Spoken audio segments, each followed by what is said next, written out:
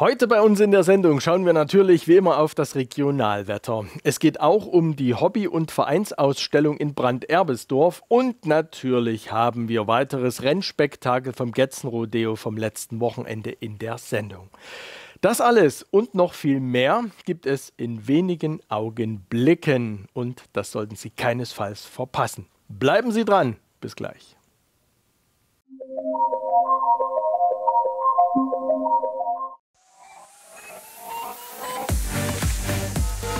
Bei uns gibt es sie, die günstige Wenig-Nutzer-Flatrate für 17,50 Euro.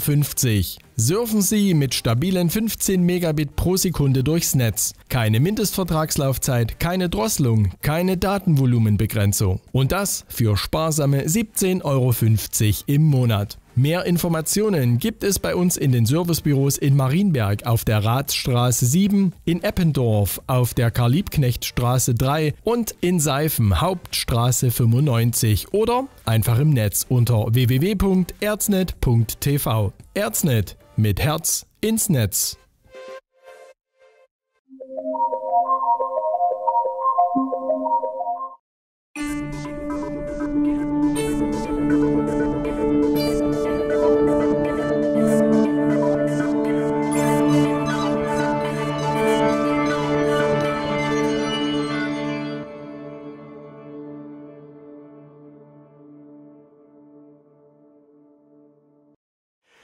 Es ist Mittwochabend und pünktlich legen wir wieder den Finger an den Puls der Zeit. Hier ist Megional, die täglich aktuelle Sendung für den Kulturraum Mittelsachsen und Erzgebirge mit den Meldungen aus unserer und für unsere Region.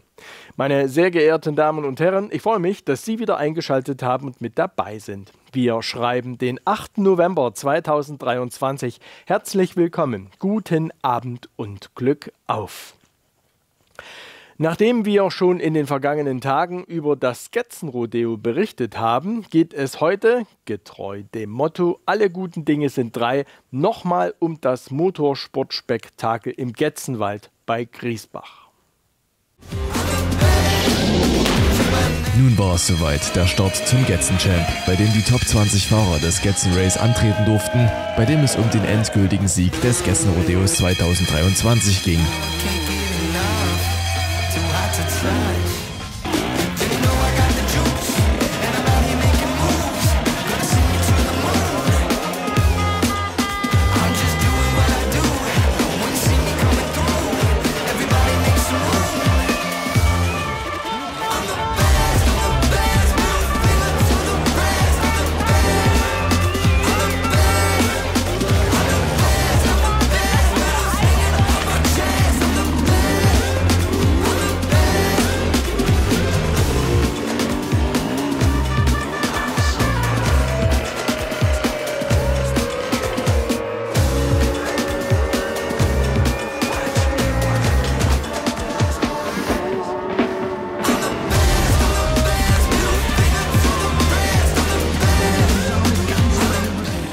Neues Element wurde dieses Jahr in die Strecke mit eingebaut und zwar war das die sogenannte Joker Lane. Dies war ein besonders schwerer Abschnitt der Strecke, der von jedem Fahrer nur einmal im Getzenchamp abgefahren werden musste, um keine Zeitstrafe zu erhalten. Billy Bolt und Manuel Lettenbichler waren die ersten, die diese Herausforderung meisterten. Aber dies machten sie nicht alleine, sondern sie halfen sich letztendlich gegenseitig, um das Hindernis gemeinsam zu überwinden.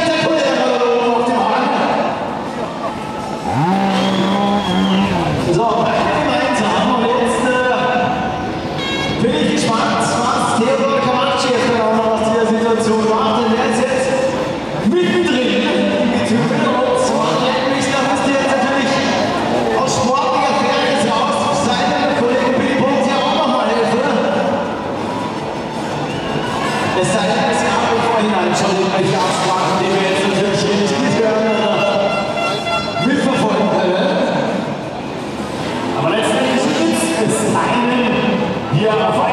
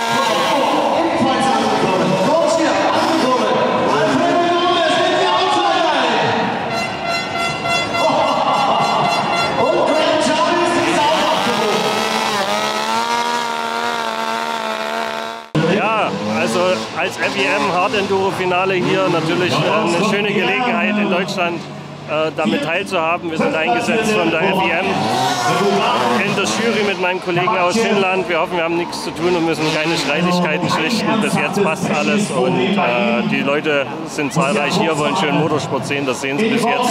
Ich hoffe, so bleibt es, dass wir nichts zu tun haben als Jury. Falco und seine Truppen haben wieder ein feines Ding auf die Beine gestellt. Also perfekt. Wetter spielt mit. Wenn es so regnen würde wie bei rund um so, würde ich das schon als Problem ansehen, auch für die ganz, ganz guten Fahrer. Aber Gott sei Dank, der Gott spielt mit, passt alles. Geil, geil, geil. Ja, sehr cool. Heute wieder eine starke Strecke. Werksboden, wie es sich gehört. Ja, und hoffen wir mal, dass Manuel Lettenbichler das Ding heute nach Hause holt, wie immer, seinen vierten hintereinander. Ja, aber macht, ich komme schon, bin eigentlich schon jedes Jahr hier. Ja, und macht auch immer Spaß hier zu sein.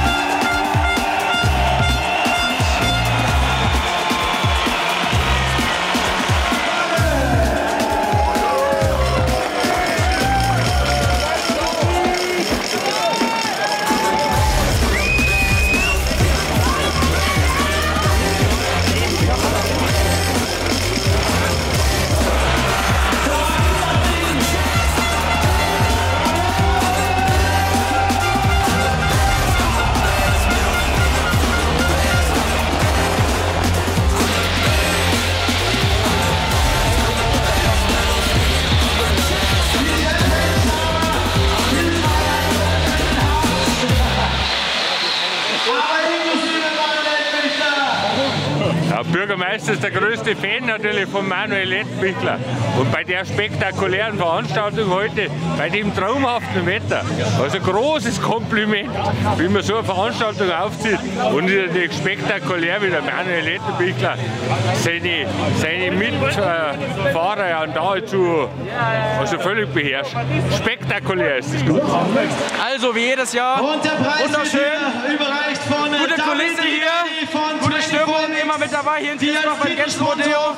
Strecke wieder sehr anspruchsvoll, haben wir alles gegeben, die Jungs. Ja, einwandfrei, sowas Feines, endlich mal wieder ein Event im Chor, was wir mal genießen können. Macht Spaß. Auf jeden Fall, sehr geil. Das wird einer der geilsten Events im Erzgebirge. Ja, also unbeschreiblich. Also wenn man hier rüberguckt, kriegt man Gänsehaut. Eigentlich kriegt man Tränen in den Augen. Weil eigentlich so wie wir das uns, gerade Falco und ich und auch der Rest des Vereins, wie wir uns das erdacht haben, wie wir uns das erträumt haben und über Monate aufgebaut haben, hat eigentlich genau gepasst. Zum Beispiel die neue Idee mit der Joker Lane und so. Das war fantastisch. Für die Zuschauer hier Wahnsinn. Das Zehnte ist aber nicht das Letzte, oder? Naja, hättest du uns vor heute Vormittag gefragt, hätten wir mit Sicherheit gesagt, das war's. Aber man weiß ja nie. Ich denke, es ist alles gut gelaufen und es war eine Riesenshow für fürs Publikum, die, die hier zahlreich da waren. Also richtig sehr geil. Eine Sache, die dir besonders gefallen hat heute. Gibt es das überhaupt? Nee, eigentlich war das ganze Wochen. Also ging gestern schon mit dem Prolog los, der richtig gut war. Es war ein schneller Prolog. Die haben, wir hatten erst ein bisschen Bedenken alle, dass das Rotz ist, auf, auf Deutsch gesagt. Aber es war ja wirklich, das ist schon eine Riesenshow und heute, das hat es ja nochmal gedoppt. Die, die engen Zweikämpfe, die, die, die Joker-Lane, die, wo wir wollten, dass es die besonders hart ist. Und dann haben die sich gegenseitig geholfen. Das, so ein Drehbuch kannst du ja gar nicht schreiben. Das ist ja, äh, das hat, hat alles gepasst. Ein alles richtig geiles Finale. ein richtig, richtig, richtig geiles Finale. Und vielen Dank an die vielen Zuschauer, die gekommen sind und die Stimmung gemacht haben. Das ist ja das Wichtigste eigentlich. Uwe Weber, wenn motorsportliche Klasse Gewicht hätte, würde, der heut, würde heute der Erde ein bisschen unrund laufen. Oder siehst du das anders? Ja, ich denke mal, hier hat es jetzt eine ein riesen Unwucht gegeben, weil das, was hier an Menschen zusammengekommen ist, das bringt die Erde aus dem Gleichgewicht. Der Renntag, Getzen Rodeo. Du warst dabei Ja. als Gast. Wie, wie fandest du es? Fantastisch. Fantastischer Sport. Äh, fantastisch, was die äh, Fahrer und die Maschinen heutzutage leisten. Aber noch viel, viel, viel fantastischer, was der Organisator dieser Verein hier mit seinen Leuten auf die Beine gestellt hat, mit der langen Vorbereitung. Einfach Weltklasse. Welt, Welt, Weltklasse. Beschreibe das Getzen Rodeo mit drei Worten. Phänomenal. Galaktisch. Äh, ja, gibt es noch mehr? Ich weiß es nicht. Den dritten Begriff suchen wir noch. Abschließende Frage. Wenn wir jetzt mal so gucken, äh, du wärst noch, ich sag mal, 40 Jahre jünger. Wäre das was für dich? Äh, ja. Ja, auf alle Fälle. Äh, in jungen Jahren in diesen Sport hineinzuwachsen, der sich eigentlich erst nach meiner aktiven Laufbahn entwickelt hat und gestaltet hat, wäre sicherlich anspruchsvoll gewesen und für mich interessant gewesen. Heutzutage in meinem Alter mit Anfang 60 sicherlich nicht mehr. Was denkst du, gibt es ein nächstes Getzen Rodeo? Ich hoffe doch, ich hoffe doch ganz stark. Und ich bin eigentlich überzeugt, dass man so eine Veranstaltung, so einen Sport, so ein Event niemals von der Liste der Veranstaltungen streichen darf. Die Erzgebirger und ihr Hobby, und da sind diese richtig breit aufgestellt. Einen Einblick, mit welchen Dingen man sich rund um und in Branderbesdorf in der Freizeit beschäftigt, bekam man am Samstag, den 4. November. Diese Ausstellung ist keine Eintagsfliege, sondern die Organisatoren blicken mittlerweile auf eine lange Tradition zurück. Tim Fischer ist hier mit Zahlen und Fakten. Endlich war es wieder soweit. Die Hobby- und Vereinsausstellung in Branderbesdorf.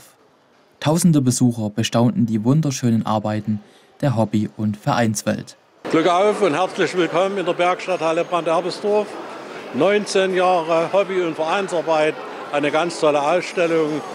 Der Veranstalter ist zufrieden. Wir haben über 60 Aussteller an beiden Tagen zusammengefasst. Ein ganz umfangreiches Bühnenprogramm wieder mit unseren Vereinen und Künstlern.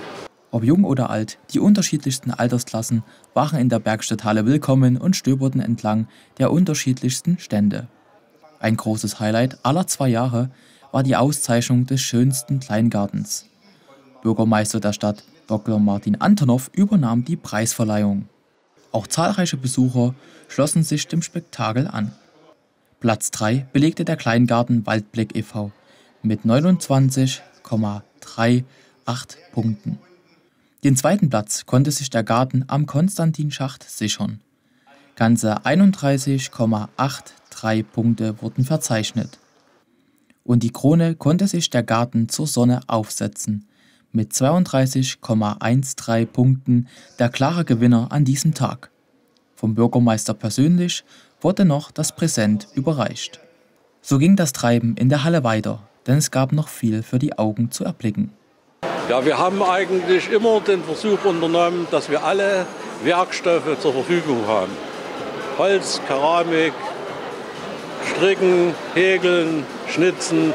Also eigentlich das gesamte Sortiment, was im Hobbybereich möglich wäre. Und das ist ja sowohl für die Aussteller eine ganz tolle Geschichte auszustellen, klar, zu zeigen, was sie bringen, aber auch Anregung für unsere Besucher. Und das eine oder andere Schnäppchen wird gerne mitgenommen. Obwohl wir keine Verkaufsausstellung sind, aber natürlich, Weihnachten steht vor der Tür. Kleinigkeiten kann man schon mitnehmen und da werden wir auch ein Auge zudrücken. Eine besondere Erwähnung findet Jörg Schulz. Dieser ist eng verbunden mit dem Bergbau. Der Weißenbrunner präsentierte sich nicht zum ersten Male. Wir trafen ihn bereits im Juli in Halsbrücke. Schauen wir darauf zurück. Ich bin ähm, Englisch Maschinenbauer studiert. Und nach dem Studium habe ich auf der Reichen Zeche äh, zwei Jahre gearbeitet. Das war allerdings eine ABM-Stelle und es hat mir so gut gefallen. Der damalige Gruppenbetriebsleiter hat gesagt, ne, bau doch mal Modelle, wo sich was bewegt, wo man auch mal sieht, wie das gewesen ist. Nicht nur Zeichnungen. Ja, und da hat er Samenkorn gelegt und es ist dabei geblieben. Blicken wir wieder ins Geschehen. Die Halle füllte sich unterdessen weiter mit Besuchern. Ein Treffpunkt für viele war der Pinshot Kickerstand aus Freiberg. Hier konnte das Talent als Fußballer auf der Platte bewiesen werden. Weiter ging es mit der erzgebirgischen Holzkunst. Oft vertreten, aber unterschiedlich in ihren Reihen. Wunderschöne Schwibbögen, Sterne und Bergmänner gab es zu bestaunen. Fans des Modellbaus kamen ebenfalls auf ihre Kosten. Große Bauten wie die bekannte Titanic, Kampfschiffe und weitere Modelle zogen einige Besucher zu sich. Fehlen durfte da natürlich nicht die Modelleisenbahn. Mit einigen Zügen und Miniaturen zeugte sie von detailreicher Handarbeit.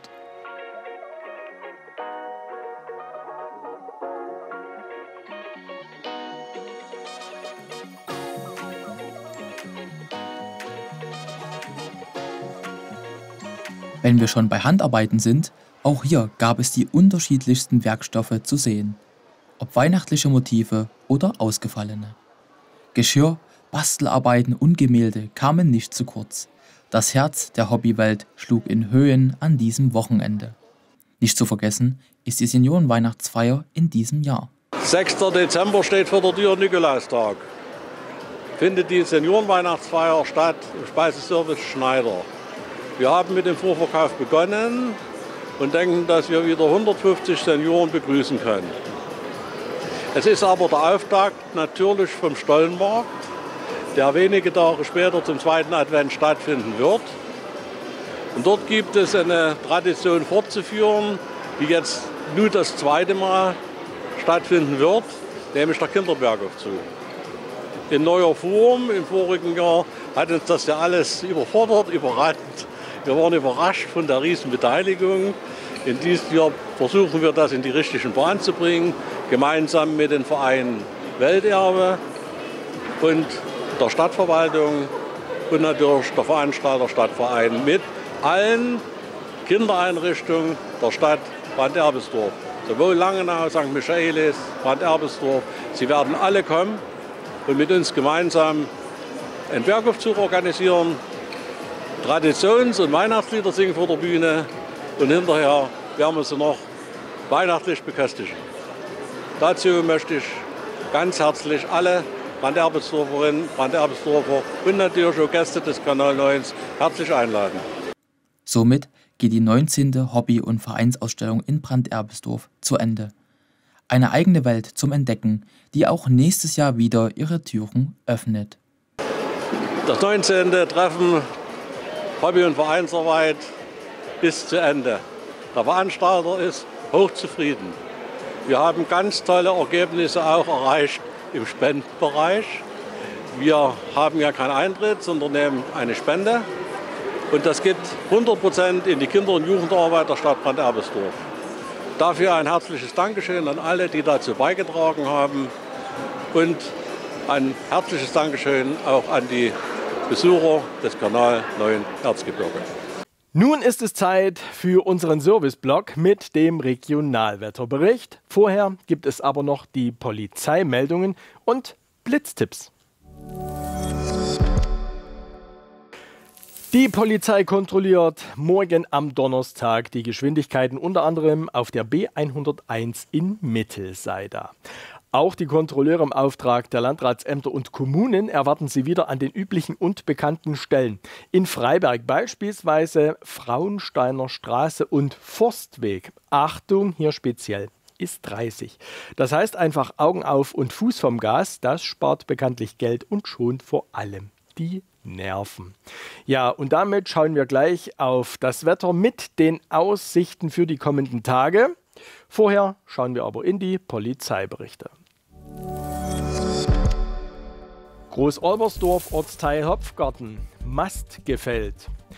Auf der S230, einer schmalen Straße, kam am Montag, 6. November 11 Uhr, einem Pkw ein Lkw entgegen, weswegen der Pkw abbremste. Der nachfolgende Fahrer, 46 eines Transporters, konnte offenbar nicht mehr bremsen, wich aus und kollidierte mit einem Telefonmast. Der Mast stürzte um und fiel auf den Pkw. Der Transporter kippte auf die Seite um. Bei dem Unfall erlitt der Transporterfahrer nach dem derzeitigen Kenntnisstand leichte Verletzungen. Es entstand Sachschaden in derzeit unbekannter Höhe. Die Staatsstraße war für etwa drei Stunden voll gesperrt. Freiberg. Beute in BMW gemacht. In der Nacht zu Montag, 5. November 22.05 Uhr bis 6. November 7 Uhr haben Unbekannte eine Seitenscheibe eines in der Friedeburger Straße abgestellten Pkw BMW eingeschlagen. Anschließend brachen die Täter im Fahrzeuginnenraum die Mittelkonsole auf und entwendeten daraus Bargeld und einen Schlüssel. Es entstand ein Stehl- und Sachschaden in Höhe von etwa 1300 Euro. Stolberg. Fußgängerin und Fahrradfahrer stießen zusammen. Ein 14-jähriger Junge befuhr am Montagabend 6. November 18.45 Uhr mit seinem Fahrrad die Alfred-Kempe-Straße aus Richtung Schlachthofstraße in Richtung Sonnenstraße. Gleichzeitig überquerte eine 83-jährige Frau die Fahrbahn der Alfred-Kempe-Straße. Es kam zum Zusammenstoß zwischen dem Fahrradfahrer und der Fußgängerin, die durch den Anstoß stürzte und leichte Verletzungen erlitt. Sachschaden wurde keiner bekannt.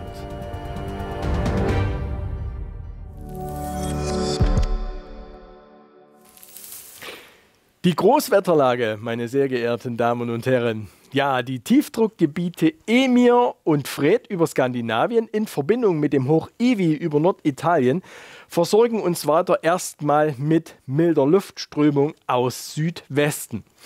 Zum Wochenende mischt sich dann subpolare Kaltluft mit ein. Trotz alledem kommt weiter feuchte Luft zu uns. Es kann also in den kommenden Tagen immer wieder mal Regen geben. Am Wochenende könnte es in den Höhen schon Schneeflocken geben. Hier aber erstmal der Nahbereich. Heute Abend und in den Nachtstunden zeigt sich der Himmel über unserem Sendegebiet bedeckt und blickdicht und von den Sternen und der abnehmenden Sichel des Mondes ist nichts zu sehen. Trotz des massiven Wolkenaufgebotes bleibt es trocken. Das Niederschlagsrisiko kommt mit einer Null daher. Ja, und die Nachttemperaturen finden wir im Plusbereich wieder. Selbst oben in Oberwiesenthal zeigen die Thermometer zwischen 3 und 5 Grad an und rund um Brand-Erbesdorf übernachtet das Quecksilber bei 4 bis 6 Grad. Der Wind bläst in stark bis stürmischen Böen mit bis zu 67 km pro Stunde über den Erzgebirgskamm. Ansonsten weht er nur leicht mit um die 15 km pro Stunde und das Ganze aus Süden. Morgen am Donnerstag geht es schon mit einer massiven Wolkendecke am Firmament los. Über den Tag gibt es auch wenig Änderungen. Im Lauf des Vormittags gesellt sich dann noch Regen mit dazu. Das Niederschlagsrisiko klettert auf 90 Prozent. Also nehmen Sie morgen auf jeden Fall den Schirm mit. Bedeckt und regnerisch sind auch der Nachmittag und der Abend. Tja, und die Sonne bekommt morgen eine Anzeige wegen unterlassener Hilfeleistung. Am Ende des Tages steht nämlich eine Null auf dem Abrechnungszettel. Bedeckt mit Regen geht es dann auch in die Nacht hinein. Wir erwarten morgen den wärmsten Tag der Woche. Unsere Flachländler können sich auf 6 bis sogar 10 Grad freuen und die Kammbewohner können zwischen 5 und 8 Grad Celsius in den Anzeigen der Thermometer ablesen. Der Wind pustet weiter als frische Brise mit um die 44 Kilometer pro Stunde aus Süden. Ja, und so geht es die kommenden Tage weiter, liebe Zuschauer. Hier ist der Ausblick auf das, was danach kommt. Und das ist logischerweise der, richtig, Freitag. Der Freitag wird dann schon wieder etwas kälter. Die angesprochene Kaltluft nimmt uns ein. Der Himmel ist leicht bewölkt und die Sonne ist endlich wieder mal mit am Start. 2 bis 8 Grad ist die Temperaturspanne und der Wind bläst in kräftigen Böen aus Südwesten. Am Samstag geht es dann mit den Temperaturen weiter bergab. Der Himmel ist bedeckt und es wird im Flachland regnen und oben auf dem Kamm, ich hatte es schon angedeutet, da kann es schneien. 0 bis 6 Grad werden erwartet und der Wind bläst weiter kräftig aus Süden.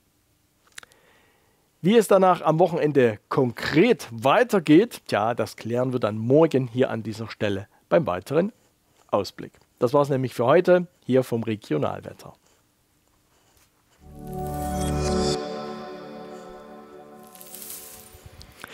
Das war es dann auch schon vom Mittwochsregional, meine sehr geehrten Damen und Herren. Und das bedeutet, dass wir schon wieder am Ende unserer heutigen Ausgabe von unseren Nachrichten angekommen sind.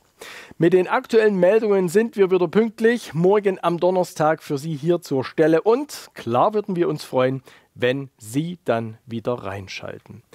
Übrigens, mehr von uns und das Ganze nochmal zum Anschauen gibt es noch im Internet unter www.glückauf.tv. Damit wünsche ich Ihnen noch einen behaglichen Abend und eine geruhsame Nacht. Recht herzlichen Dank für die Aufmerksamkeit. Auf Wiedersehen.